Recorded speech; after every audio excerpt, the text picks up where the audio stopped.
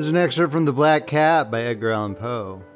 Our friendship lasted in this manner for several years, during which my general temperament and character, through the instrumentality of the fiend intemperance, had, I blush to confess it, experienced a radical alteration for the worse. I grew day by day more moody, more irritable, more regardless of the feelings of others. I suffered myself to use intemperate language to my wife. At length, I even offered her personal violence. My pets, of course, were made to feel the change in my disposition, and not only neglected, but ill used them. Please see the link below to the full reading of The Black Cat by Edgar Allan Poe.